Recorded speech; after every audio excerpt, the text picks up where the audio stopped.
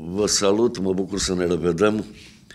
Uh, vin cu o provocare, așa cum uh, am anunțat uh, de data trecută, și anume vă provoc să citiți o carte grea, dar care are o caracteristică, și anume nu presupune, în principiu, cunoștințe peste nivelul de bacalaureat.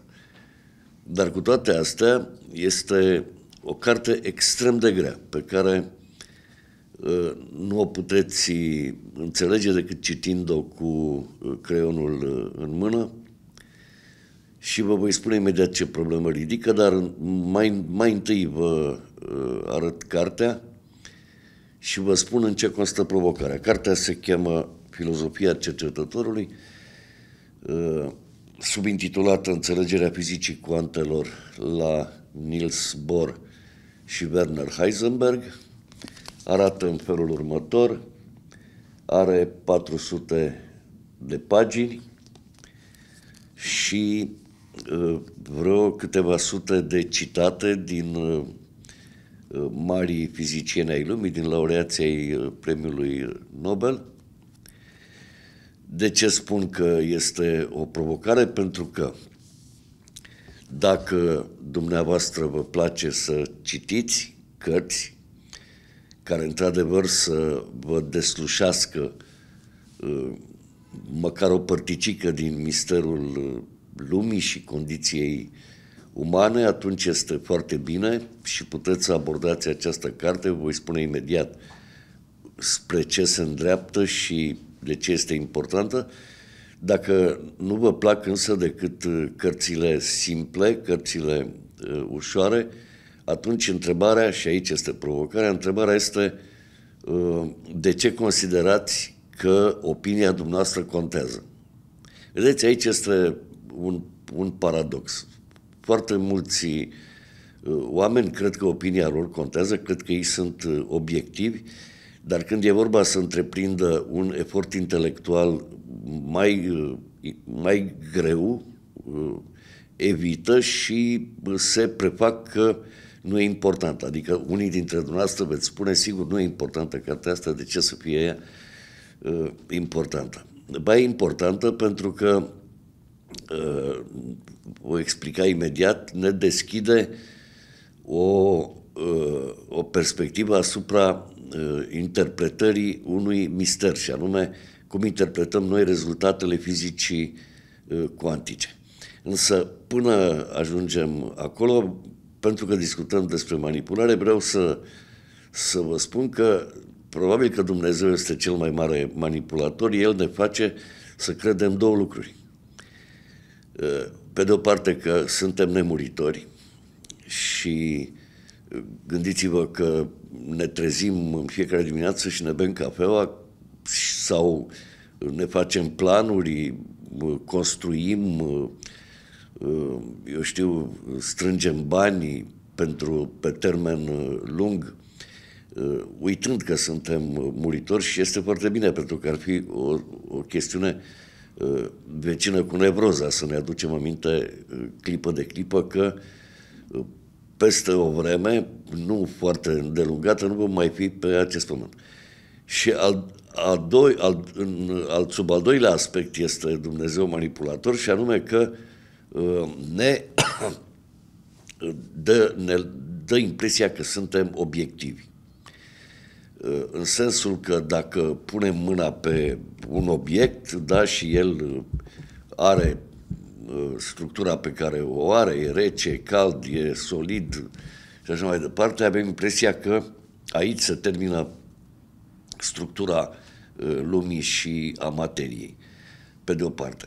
Pe de altă parte, uh, cam în tot ceea ce facem, noi luăm lucrurile așa cum, cum le vedem și credem că suntem obiectivi, adică ne uităm la cer și îl vedem albastru și noi zicem imediat că cerul este albastru, frunza este verde și așa mai departe.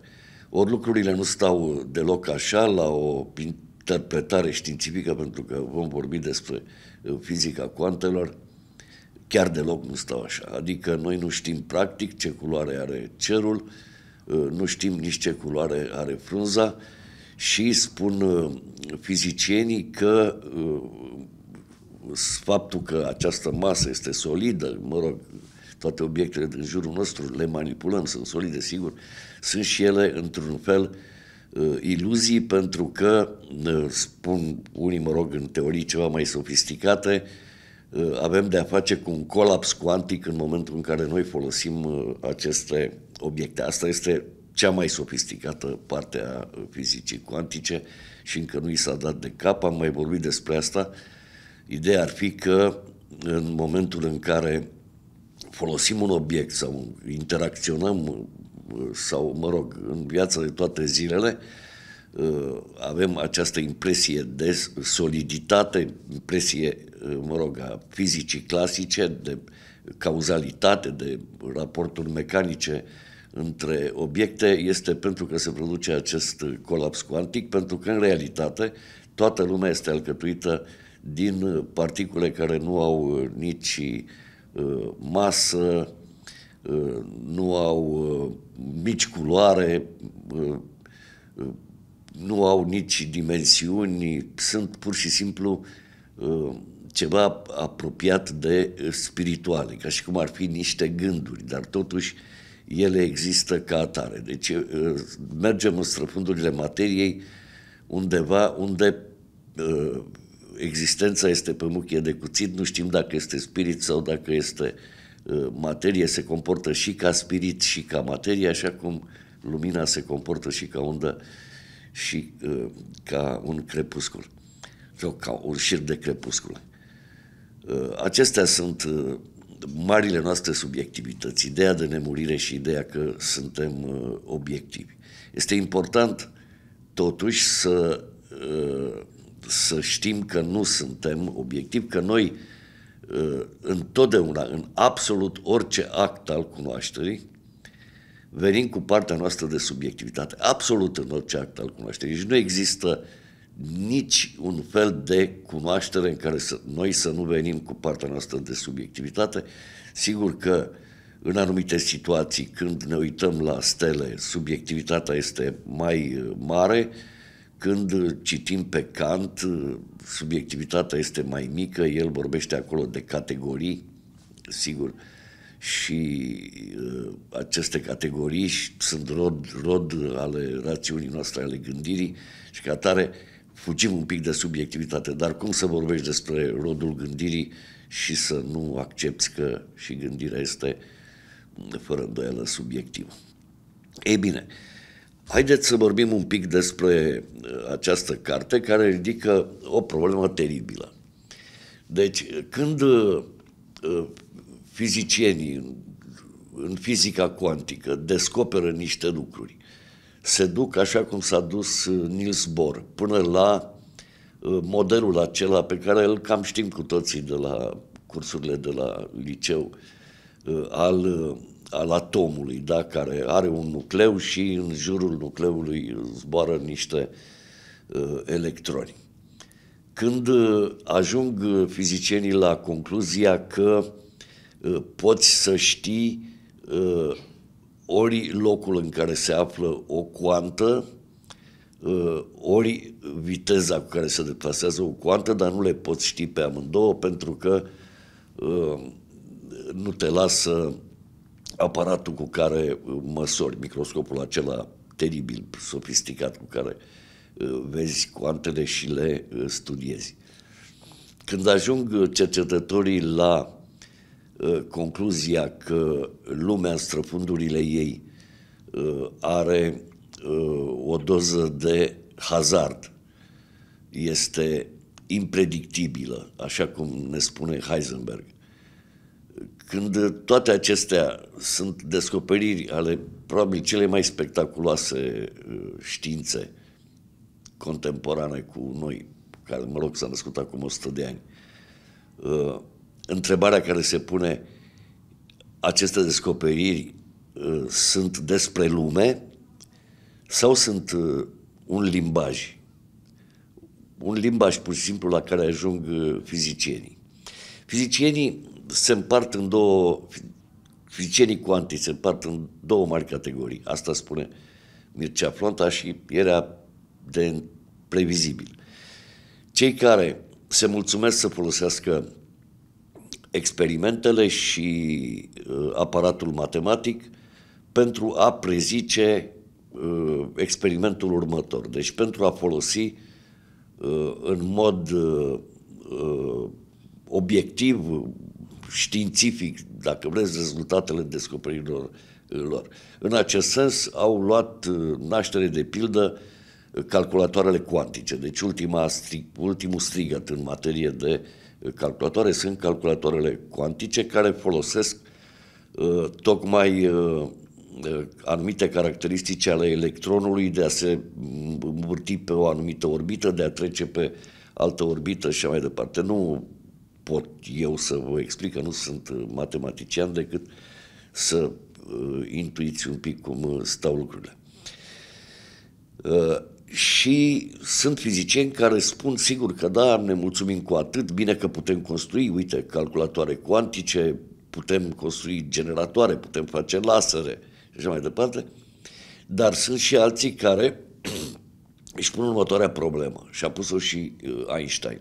Ce facem, cum explicăm lumii într-un limbaj pe care oamenii să îl înțeleagă ceea ce am descoperit noi?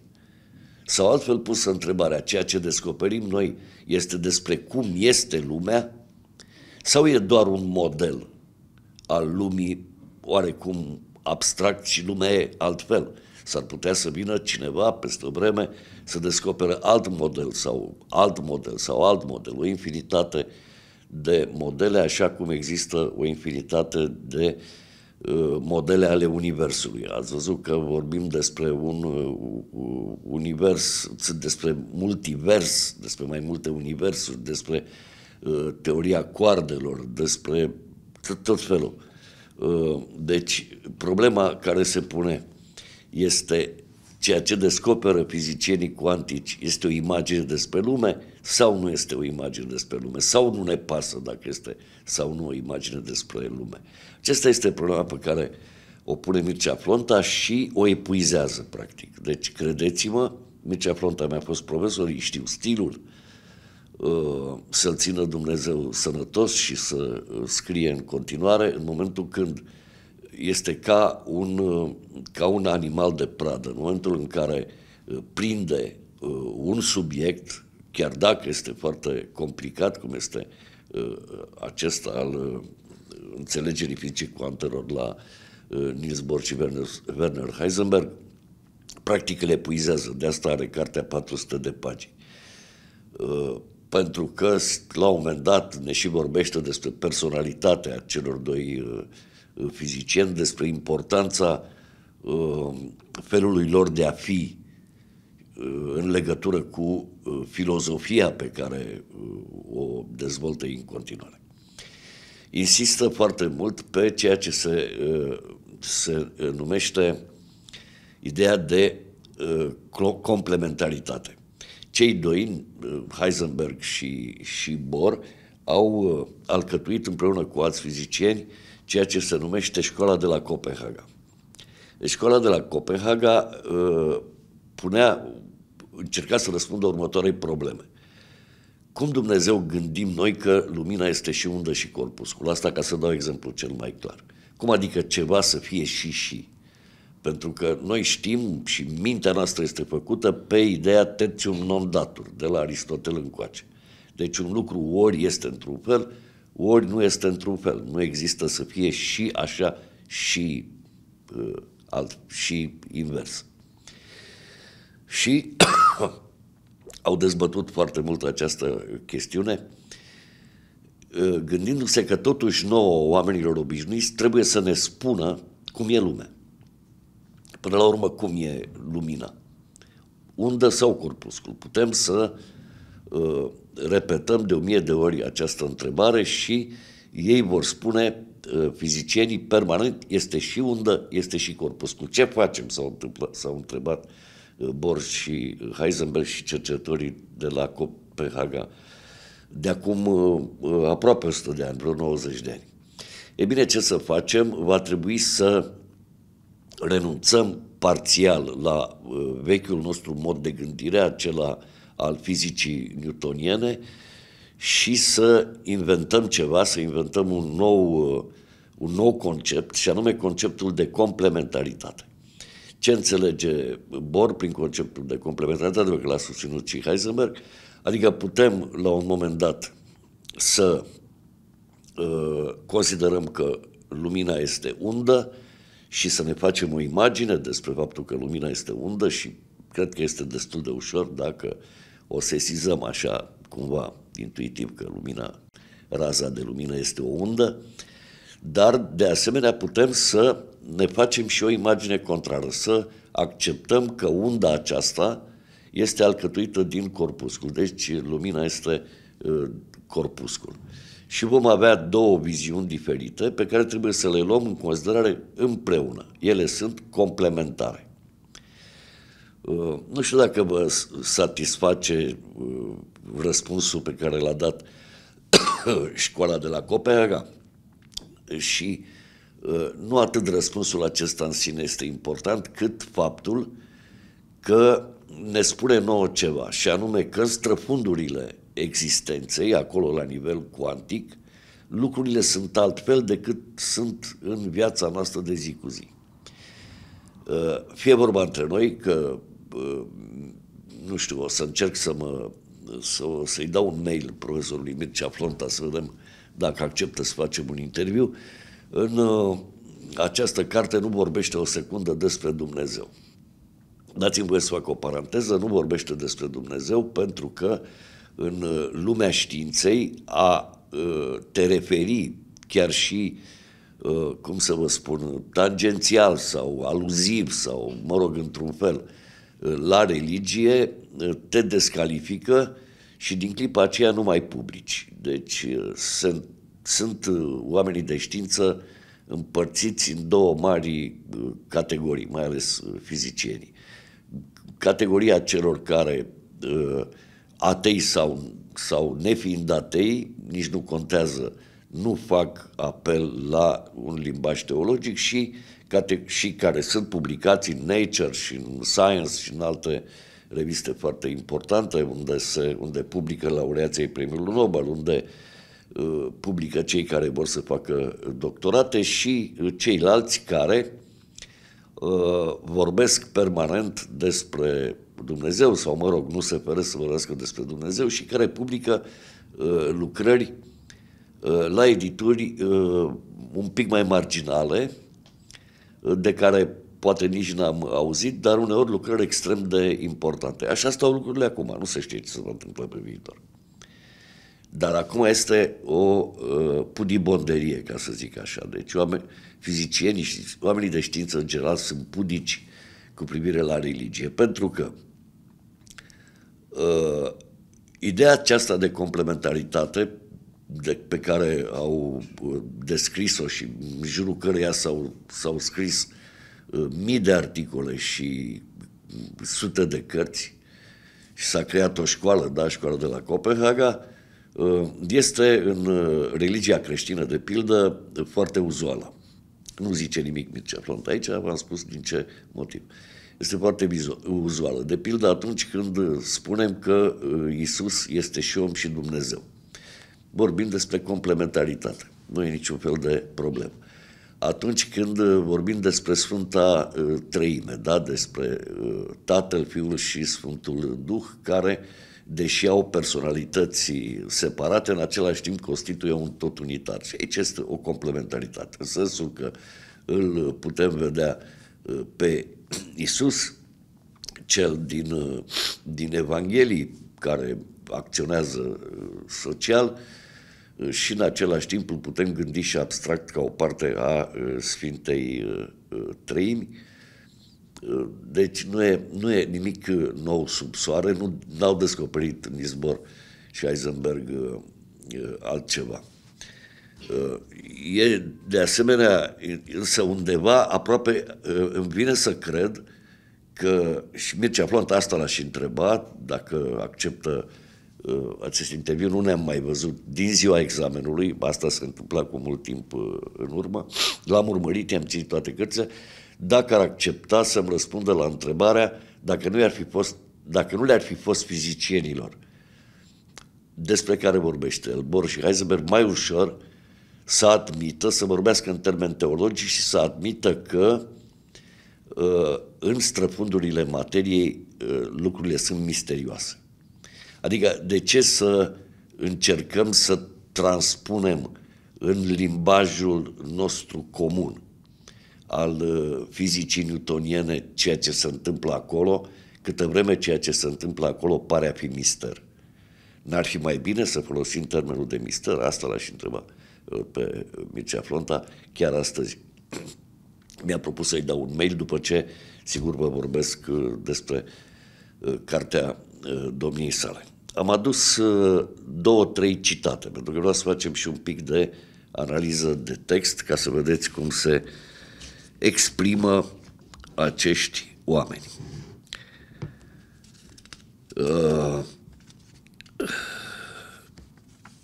avem uh,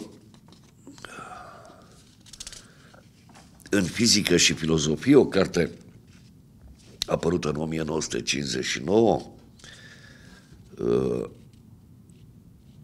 un corp de idei exprimat de Heisenberg și acum vă voi cita, voi citi, primul limbaj care va fi domândit în procesul clarificării științifice este în mod obișnuit un limbaj matematic. Și anume schema matematică care permite fizicienilor să prezică rezultatele experimentelor viitoare. Fizicianul poate să fie mulțumit că posedă schema matematică și o poate aplica pentru explicarea experimentelor sale.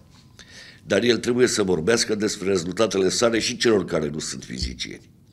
Aceștia nu sunt mulțumiți atâta timp cât nu li se dă o explicație și în limbajul obișnuit, într-un limbaj care poate fi înțeles de oricine. Dar și pentru fizician, probabilitatea unei descrieri în limbajul obișnuit este un criteriu al gradului de înțelegere care a fost atins în momentul respectiv, în domeniul respectiv. O fi sau nu o fi așa. Deci problema, problema este de o, de o maximă subtilitate. Uh, fizicianul care nu reușește să vorbească pe limba noastră, spune Heisenberg, înseamnă că nici el însuși n-a înțeles ceea ce a descoperit. Deci a descoperit o chimeră, a descoperit o fantomă, a descoperit un înger, ca să zic, sau un șir de îngeri. Uh, sigur, chiar există o știință, dar vedeți, uh, nu comunică uh, aceste științe între ele angelologia, sau cam așa cred că îi zice, știința despre îngeri. A scris Andrei Preșu o carte întreagă și, mă rog, în Occident uh, sunt multe cărți, mai ales în cultura germană, pe uh, subiect. Uh, și aproape că demonstrează Andrei Pleșu că îngerii sunt uh, a treia formă ontologică, da? pe lângă forma obiectivă și subiectivă mai există una Uh, aceea îngerului care nu e nici obiectiv, dar nici uh, total uh, subiectiv. E ceva ce mintea noastră iarăși nu poate să înțeleagă. Dacă ar comunica științele între ele, asta ar fi a doua întrebare pe care aș pune profesorului Flonta, dacă cei care se ocupă cu îngerii ar, ar sta de vorbă cu cei care se ocupă cu cuantele, nu cumva ar ajunge la concluzia și unii și alții că au descoperit cam același lucru? sau e pe undeva, mă rog, asemănător ceea ce au descoperit și unii și alții și ne-ar da nouă posibilitatea să avem o imagine unitară despre lume, pentru că la ora asta fiecare își vede de treaba lui, adică fizicienii de treaba lor, matematicienii de a lor, uh, mă rog, psihologii de a lor și mai departe. Pentru că a venit vorba despre psihologi bine că n-am uitat. Uh, să, să recitim un pic, uh, deci sunt fizicieni care, zice așa, uh, pare, poate să fie mulțumit că posedă schema matematică și că o poate aplica pentru explicarea evenimentelor sale. Pe timpul când am studiat eu psihologia, făceam foarte multă analiză, dorind să știm ce este în interiorul psihicului. și studiam de pildă pe linia, pe linie psihanalitică, da? Și pe nuanțe, pe ce spunea Freud, pe ce spunea Jung, pe ce spunea Adler și așa mai departe. Deci voiam să știm ce se întâmplă acolo pentru a înțelege în felul acesta de ce omul acționează într-un fel sau altul. În ziua de astăzi nu se mai întâmplă așa. Pur și simplu uh, vin terapeuții și stau de vorbă cu oamenii și le prescriu comportamente fără să facă vreo analiză cu privire la ce se întâmplă în, în interiorul psihicului lor. Consideră că uh, psihicul este black box, cutie neagră, nu intrăm acolo, nu ne interesează, noi suntem grăbiți, noi doar dăm sfaturi despre cum să te comporți. Am observat același lucru și la uh, psihiatrii. Uh, cu adăugirea că psihiatrii sigur folosesc și uh, schema uh, chimioterapeutică, ba chiar o folosesc din greu. Uh, Big Pharma a făcut mari progrese pe uh, tratamentul uh, psihiatric, de așa natură încât aproape că nu mai putem vorbi de boli, cum vor psihice, cum vorbeam înainte, în sensul că pastilele fac să nu mai existe decât oarecare nuanțe, particularități, în sfârșit, schizofrenia nu mai e schizofrenie, paranoia nu mai e paranoia, nevroza nu mai e nevroză, cum era înainte. Și asta e foarte bine pentru, pentru oamenii care au uh, probleme de acest gen, uh, dar nu mi-aș ierta dacă n-aș adăuga, poate se și exagerează puțin, în sensul noi, noului umanism sau noi corectitudini, corectitudini politice, în care sigur că da, toți oamenii sunt egali, toți oamenii nu au probleme, în fine, trebuie considerați la fel. Nu știu ce va aduce uh, viitorul din acest uh, punct de vedere, asta doar ca o paranteză. Uh, deci ceea ce se întâmplă în fizica, fizica cuantică se întâmplă și în psihologie. Unii vor uh, să, să vadă ce este acolo, alt, pe alții nu interesează decât partea practică, pragmatică, comportamentală, behavioristă, da? Uh, însă, uh, la un moment dat, Mircea Flonta face o observație teribilă și spune așa, totuși uh, fizicienii Uh, vor, vor fi obligați să vorbească în limbajul nostru comun, pentru că alminte nu vor mai putea vorbi nici între ei. Adică ce să-i transmită un fizician altuia care lucrează la un alt experiment, dacă nu-i transmite omenește la o cafea, ceea ce a descoperit el. Va trebui să se uh, schimbe cumva și limbajul uh, fizicii uh, cuantice. Uh, un uh, laureat al premiului Nobel în fizică, Steven Weinberg, spune așa, citez, cei mai mulți fizicieni folosesc mecanica cuantică zi de zi fără să se închisească de problema fundamentală a interpretărilor. Fiind oameni rezonabile, având prea puțin timp pentru a urmări ideile și rezultatele din domeniul lor și nefiind obligați să-și facă griji în privința acestor probleme, chiar nu își fac griji. Da, așa e. Uh, un uh, alt fizician, Marie Gell, zice așa, mecanica cuantică este acea disciplină misterioasă și încălcită pe care nimeni dintre noi nu o înțelege de fapt, dar pe care știm totuși să o folosim. Marea problemă a acestei cărți este uh, că impune uh, fizicii cuantice necesitatea de a vorbi pe limba noastră. Și cred că Mircea Fronta ar putea să aibă dreptate. S-ar putea însă să nu uh, să fie uh, o cerință mult prea grea, imposibilă. Cum să, este ca și cum ai cere uh, unui preot care îți vorbește despre Sfânta Euharistie să vorbească pe limba ta. Să nu mai vorbească despre Sfânta Euharistie, ci pur și simplu să-ți explice altfel el poate să explice că se transformă uh, uh, în sângele Domnului și în trupul Domnului, dar cum adică se transformă în trupul Domnului? Și de aici încep o serie întreagă de discuții care mai bine ar fi să nu înceapă pentru că nu duc nicăieri. Cam același lucru se întâmplă și în acest domeniu.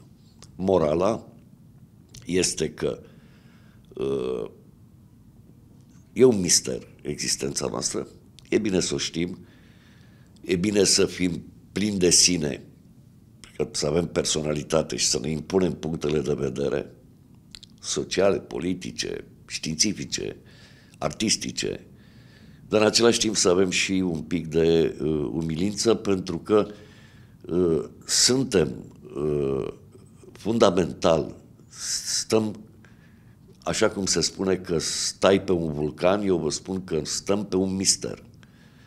Uh, venim dintr-un mister și ne îndreptăm spre un mister, chestiune care trebuie să ne dea un pic de, uh, de, de rafinament, uh, o ușoară modestie, un fel anume de, de a fi pe care l-aș caracteriza ca fiind umanist și pe care, din păcate, nu-l vedem în zilele noastre, pentru că în zilele noastre vedem război.